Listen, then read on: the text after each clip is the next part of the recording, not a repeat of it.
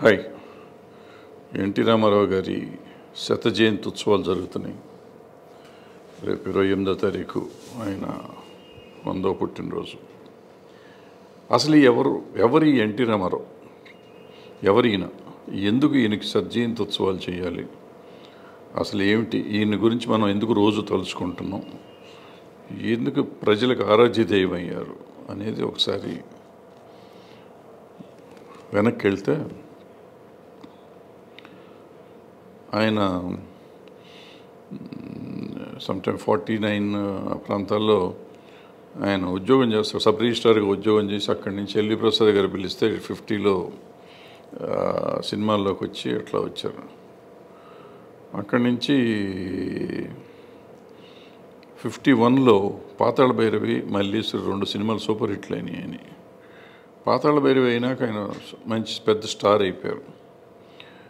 పెద్ద స్టార్ అయిన ఆయన మరి ఎందుకో తెలియదు ఆ తర్వాత సొంత కంపెనీ పెట్టి పిచ్చి పుల్లయ్య తోడు దొంగలు చేశారు. ఆ తర్వాత రాజు పేద సినిమా బిఎస్ సుబ్బారావు గారి సినిమాలో యాంటీ హీరో క్యారెక్టర్ వేశారు. అసలు ఆయన మీ ఆయన విశ్వాసం ఏంటో ఆయన నమ్మకం ఏంటో ఈ రోజుల్లో ఎవరైనా హీరో ఒక సినిమా హిట్ అయితే వెంటనే ఎలా ఆలోచిస్తారు? ఆయన ఎలా ఆలోచించారు?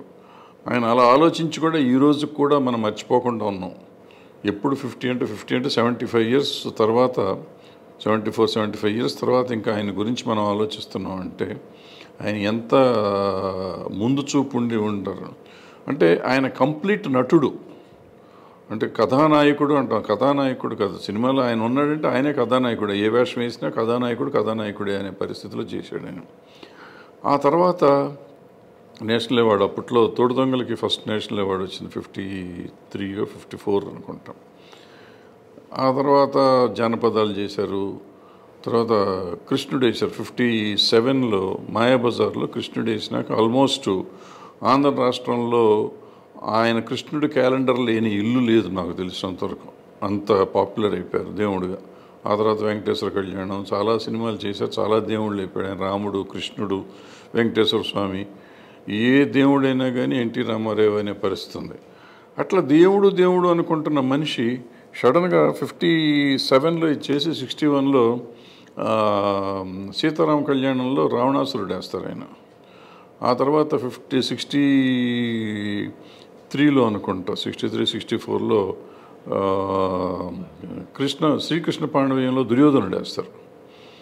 ఆయన ఏమిటి అసలు? ఈ హీరో ఇంత హీరో ఉంటే యాంటీ హీరో ఎట్లా వేస్తారు? ఆయన ఎందుకు వేశారు? సో ఇప్పుడు మా బొట్టోళ్ళం అందరం ఇండస్ట్రీలో ఇప్పుడు ఏదో స్థలాలు ఇస్తున్నారంటేనో ఇంకోటి అంటేనో మేము ఇండస్ట్రీకి ఇంత సేవలు ఇచ్చాం లేకపోతే పద్మశ్రీలు ఇస్తారంటేనో ఇంకోటో ఇంకోటో పద్మ అవార్డ్స్ కోసం కానీ లేకపోతే ఏ అవార్డు కోసమైనా కానీ మేము ఇండస్ట్రీకి సేవలు చేశామండి. మాకెందుకు ఇవ్వట్లేదు మమ్మల్ని ఎందుకు గుర్తించట్లేదు అనేవాళ్ళు చాలామంది ఉన్నారు. సేవ అంటే ఏంటి అని చెప్పాలంటే ఎన్టీ రామారావు చెప్పాలి. ఎందుకు చెప్పాలి? ఎన్టీ రామారావు గారు కూడా డబ్బులు తీసుకుని యాక్ట్ చేశారు కదా ఆయన ఫ్రీగా చేశారా అని మీరు అడగచ్చు. ఆయన ఫ్రీగా చేయలేదు. కానీ ఆయనలో ఉన్న నిబద్ధత ఆయన టైము అంత పెద్ద హీరో అయినా కూడా ఆయన టైంకి వచ్చి కూర్చునేవారు.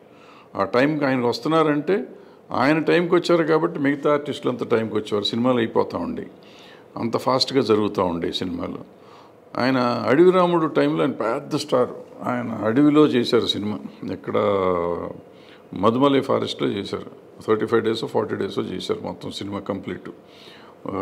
ఏనుగులు జంతువులు ముప్పై మూడు మంది ఆర్టిస్టులు అడవిలో ఈయన morning seven o'clock with makeup రెడీగా ఉండి cinema thirty five forty days లోపల ఫినిష్ చేసి సెన్సేషనల్ హిట్ ఈరోజు కూడా జంతువులను పెట్టి ఆరు పాటలు పెట్టి మూడు నాలుగు నాలుగైదు ఫైట్లు పెట్టి ఇంత పెడితే సినిమాలో ఆయన అది సెన్సేషనల్ హిట్ అయిన సినిమా.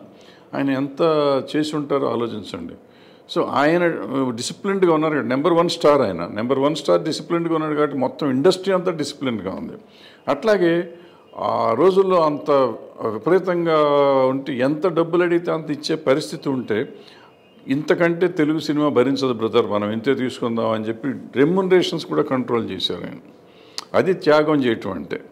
అంటే నేను హీరోని వేస్తే హీరోని వేస్తాను డైరెక్టర్ని కమాండ్ చేయటం డైరెక్టర్ మీద ఎక్కి తొక్కటం లాంటివి ఎప్పుడు చేయలేదు. ఆయన సినిమా ఒప్పుకున్నారంటే డైరెక్టర్ గారు ఏది చెప్తే చేయటమే నా డ్యూటీ అని చెప్పి నమ్మిన మనిషి. తనని తను నమ్ముకున్నారు ఆయన. అంటే తన మీద నమ్మకం ఉన్న మనిషి. అందుకని ఆయన ఇండస్ట్రీకి చేసిన తర్వాత సామాజిక స్పృహ ఉన్న సినిమాలు. ఆయన ప్రేక్షకులే దేవుళ్ళు అనేవాడు. అలాగే సమాజమే దేవాలయం అన్నాడు అప్పుడు కూడా.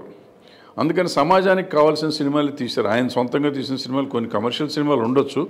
బట్ మెజారిటీ సినిమాలు అన్నింటిలో ఆయన నమ్మిన సమాజానికి ఇది మంచిది ఇది హితవు అనుకున్న దాని మీద సినిమా తీశాడు ఆయన. అందుకని ఆయన ఆయన గొప్పవాడయ్యాడు. అందుకని ఆయన మహనీయుడయ్యాడు. ఆయన కథానాయ మహానాయకుడు అవుతాడు. కథానాయకుడు కంటే మహానాయకుడు కూడా ఆయన. సో ఆయన ఇండస్ట్రీకి చేసిన సేవలు దేశానికి చేసిన సేవలు సమాజానికి చేసిన సేవలు చాలా ఉన్నాయి కాబట్టి ఆయన గ్రేటెస్ట్ మ్యాన్ అయ్యాడు. ఆ తర్వాత రాజకీయాల్లోకి వచ్చారు ఆయన. రాజకీయాల్లోకి వచ్చినాక ఆయన రాజకీయాల్లో ఏమైనా తక్కువ చేశారా?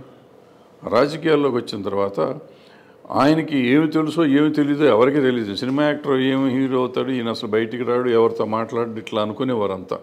అలాంటి మనిషి ఈ రాజకీయాల్లోకి వచ్చినాక రాజకీయానికి ఒక కొత్త కొత్త ఒరవడిని ఇచ్చారు ఆయన.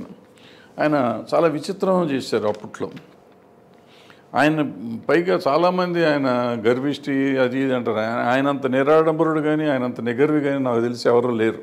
ఎవరు ఉండరు. అయితే ఆయన రిజర్వ్డ్గా ఉంటారు. రిజర్వ్డ్గా ఉంటారని చూసుకుని ఆయన ఇది అనుకునేవారు. ఆయన అందరినీ చక్కగా పలకరించేవారు. ఎలా ఉన్నారు? మీ అమ్మ నాన్న ఎలా ఉన్నారు? మీ పిల్లలు ఎలా ఉన్నారు? ఇట్లా కనపడ్డ వాళ్ళలా పలకరించే అంత చాలా ఉన్నారు నిజం మాట్లాడాలంటే ఆంధ్ర తెలంగాణ రాయలసీమ ఈయన బీసీలకు కానీ మైనారిటీలకు కానీ ఆత్మబంధువు ఈయన. మహిళలకు సొంత అన్న రైతులకు దేవుడిచ్చిన పెద్ద దిక్కు. యువతకు పెద్దపీట వేసినాడు. ఈయన వచ్చి- రాగానే ఈయన అసలు రావటం రావటమే ఎనిమిది నెలల్లో ఒక ప్రపంచాన్ని సృష్టించారు. ఆ ప్రపంచం సృష్టించి ఆ ఎనిమిది నెలల్లోనే ఈయన ఆయనకి కావాల్సిన ఎమ్మెల్యేలని వాళ్ళని ఎన్నుకున్నారు. ఇవాళ రాజకీయం అంటే ఫ్యామిలీ రాజకీయం అవుతుంది. ఆయనకి అంత సంతానం ఉన్నా కానీ ఆయన పిల్లలకి కానీ ఎవరికి కానీ ఆయన ఫ్యామిలీకి కానీ ఎమ్మెల్యేలు కావాలని ఎంపీలు కావాలని లేకపోతే మంత్రులు కావాలని చేయలేదు. ఇవాళ ఎవరైనా వచ్చారంటే వెంటనే వాళ్ళ ఫ్యామిలీలో ఉన్న పది మంది మంత్రులు అయిపోతారు ఎమ్మెల్యేలు అయిపోతారు ఎంపీలు అయిపోతారు రకరకాలుగా కావాలనుకుంటారు. ఆయన కరప్షన్ లేదు. ఆయన చేసినది స్త్రీలకి సమాన హక్కు కల్పించారు ఆయన. రావటం రావటం. యువతని అందరినీ తీసుకు కొత్త మంది ఎంతమంది రాజకీయ నాయకులు అంత ముసలి రాజకీయాలు ఉండే వాళ్ళందరినీ పంపించేసి కొత్త కొత్త క్రియాశీలక రాజకీయం తీసి కొత్త కుర్రవాళ్ళని తీసుకొచ్చారు ఆయన. సో ఈ రాజ్యాధికారం బీసీలకి ఆ రాజ్యాధికారం ఇచ్చారు ఆయన. చాలామంది ఆయన కమ్మవాడు అంటారు. కమ్మవాడు వచ్చి ఆయన కమ్మవాడు కాదు ఆయన. ఆయన ప్రజానాయకుడు ప్రజల మనిషి ఆయన. ప్రజల కోసమే చేశాడు. ప్రజల కోసం చేశాడు కాబట్టి బీసీలు మైనారిటీలు ఉమెన్ రైతులు యువత ఇంతమందికి ఇంతమందికి ఆయన ఉపాధి కానీ లేకపోతే రాజ్యాధికారం కానీ రకరకాలుగా ఆయన చెయ్యని ఇది లేదు. ఆ రోజుల్లో రెండు రూపాయలు బియ్యం అన్నారు. లేకపోతే మ- మద్యపాన నిషేధం అన్నారు. అంటే ఇది చేయాలంటే ధైర్యం కావాలి కలేజా కావాలి చేశాడు ఆయన. సో తమిళనాడుకి నీళ్ళు ఇద్దామన్నాడు తెలుగు గంగ పెట్టేయమన్నాడు. సో ఎవరు అసలు దేశాన్ని గురించి ఆలోచించినప్పుడు ఇప్పుడు ఆయన ఆంధ్రప్రదేశ్కి ముఖ్యమంత్రి అయినప్పుడు ఆంధ్రప్రదేశ్ని గురించి ఆలోచించిన కాదు పక్క రాష్ట్రాన్ని గురించి కూడా ఆలోచించారు. వాళ్ళకి నీళ్ళు లేక ఎండిపోతున్నారు. మన దగ్గర ఎక్కువ నీళ్ళు ఉన్నాయి వాళ్ళకి నీళ్ళు ఇద్దాం వాళ్ళని కూడా మంచినీళ్ళు తాగనిద్దాం అనే ఆలోచన ఒక పెద్ద నేత కలగటం అనేది చాలా గొప్ప విషయం. ఈ మానవతావాదం కానీ మనిషిగా కానీ ఆయనకున్న ఈ లక్షణాలు చెప్పుకుంటూ పోతుంటే ఎన్నిటికీ తరగదు అది ఎక్కడికి తరగదు అది.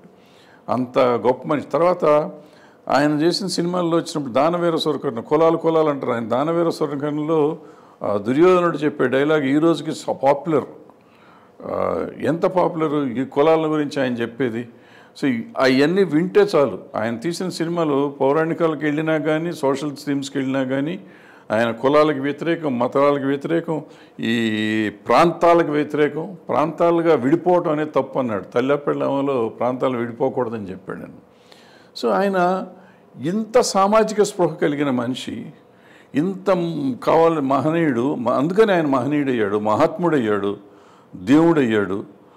ఇవాళ చాలామంది దాన్ని ఆయన కమ్మవాళ్ళకి నాయకుడు అంటారు. కమ్మవాళ్ళకి నాయకుడు ఎట్ట అవుతాడు ఆయన?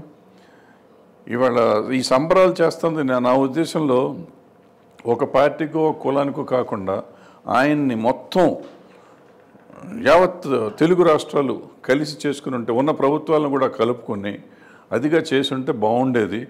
దాన్ని ఏంటంటే కొంత ఒక దీనికి ఆయన్ని రెస్ట్రిక్ట్ చేసినట్టు నా ఫీలింగ్ అది కాకుండా ఇటు ఇక్కడ ఈ ప్రభుత్వాన్ని కానీ అక్కడ ఆ ప్రభుత్వం కానీ కలుపుకొని వీళ్ళు కూడా మనసు ఇప్పి వాళ్ళ వాళ్ళ శత్రుత్వాలు వదులుకొని అందరూ కలిసి చేసి ఉంటే ఆ మహనీయుడికి నిజంగా నివాళులు అర్పించడం అనేది గొప్పగా ఉండి ఉండేది అది కాకుండా ఏదో చేస్తున్నారు.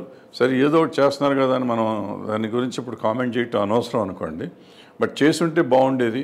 సరే వాళ్ళు కలుపుకోకపోయినా వీళ్ళన్నా వెళ్ళి మనందరం కలిసి చేద్దామని అంటే ఈ వీళ్ళు మనసు పెద్ద పెద్ద మనసు చేసుకుంటే ఇంకా బాగుండేది. సరే ఎవరు ఎందుకు చేస్తారు ఎవరు ఏం చేయాలి ఈ రాజకీయ కారణాలు మనం ఇంటర్ఫియర్ అవటం అనవసరం. బట్ ఏదైనా కానీ అన్నగారు అన్నగారే పుట్టిన బిడ్డ నుంచి వందేళ్ళ ముసలాయ వరకు ఆయన అన్న దేశానికి అన్న రాష్ట్రానికి అన్న తెలుగువాడికి అన్న తెలుగువాడి ఆత్మగౌరవం తెలుగువాడి ధైర్యం తెలుగువాడి గర్వం తెలుగువాడి అంటే ఆయన. ఆయన ఆయన చేసిన సేవలు చెప్పుకుంటూ పోతే ఎన్నన్నా ఉంటాయి. సో అలాంటి ఈ ఆయన పుట్టిన రాష్ట్రంలో పుడతాం. ఆయనతో ఎంతో కొంత ఎంతో కొంత నాకు పరిచయం ఉండటం నా అదృష్టంగా నేను భావిస్తున్నాను. ఇవాళ ఆ రాష్ట్రంలో మనం ఉండటం కూడా మనం గర్వంగా భావిస్తూ నాకు నాకు తెలిసింది నేను చెప్పాను. ఇంకా ఎంతో చెప్పాలని ఉంది కానీ మాటలు రావట్లేదు. Thank you very much bye